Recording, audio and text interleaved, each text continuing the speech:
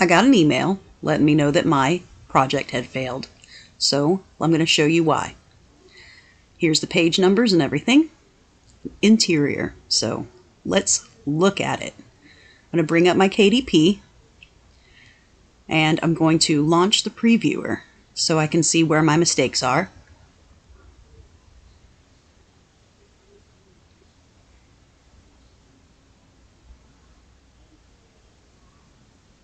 Okay, so it did say just interior, and one of the pages was page number one.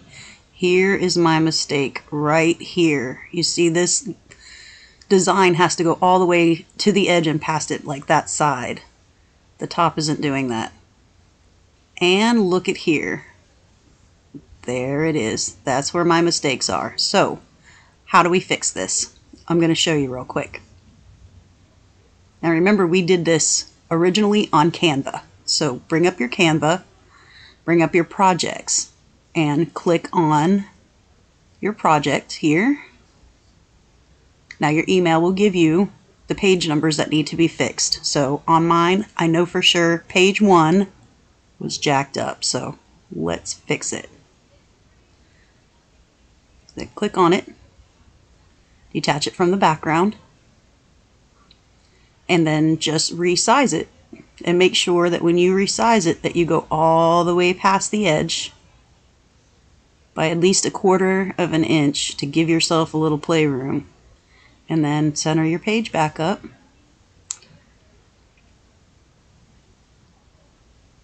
See? Now it's going off of the edge all the way. Now fix all the pages that you are listed in your email and then you will do it again like you did the first time. Go up to share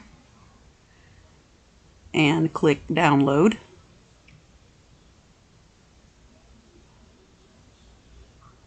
Then you'll go back to your KDP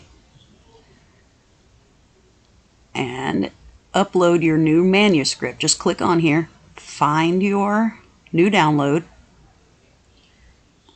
and upload it.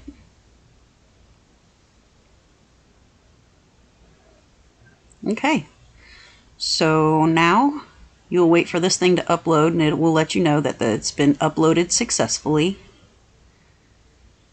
And you will need to do one more walkthrough and approval because as far as KDP is concerned, this is a whole new manuscript. So you're not starting from completely over, but you will be starting the piece that you have to do over, you, you're uploading a new book. So you will need to go to this part here and launch the previewer again.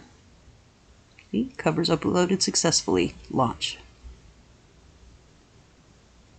Once you upload the previewer, approve your book and cover, save and continue.